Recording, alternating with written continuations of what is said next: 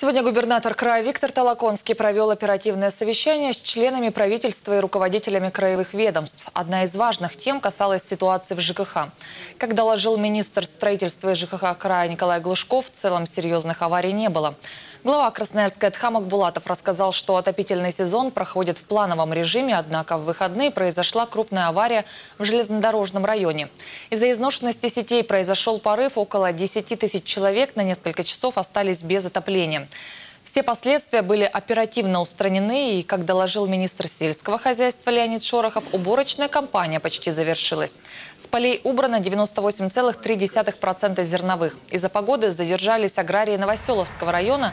Средняя урожайность на уровне 25,2 центнеров с гектара. Сельхозпредприятия начали отгружать зерно потребителям в другие регионы страны и даже за рубеж.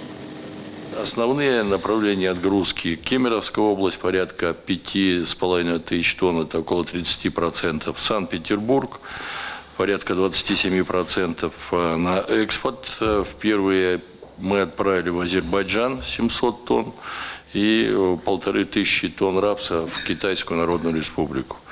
Также отправляли в Бурятию, Рязанскую область, ну и по мелочи здесь по Сибири. Министр промышленности, энергетики и торговли края Анатолий Цикалов доложил о том, что в регионе более чем на четверть увеличилось количество продовольственных ярмарок. Эта форма торговли становится все более популярной. Сейчас руководители крупных магазинов и сетей просят правительство проводить ярмарки рядом с их торговыми точками, так как это позволяет привлекать покупателей. И еще одна острая тема поднималась во время совещания. Министр лесного хозяйства Владимир Векшин подчеркнул, что ситуация с заражением лесов сибирским шелкопрядом угрожающая. Весной специальными препаратами было обработано 2 миллиона гектаров, и сейчас на этой территории необходимо вырубить поврежденные деревья.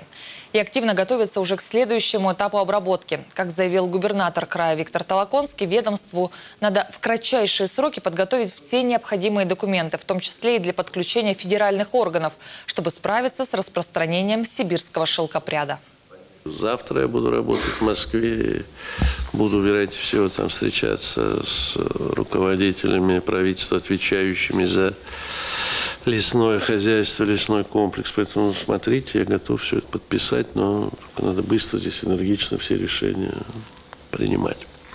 И зиму не потерять, использовать как следует, чтобы все-все было вырублено.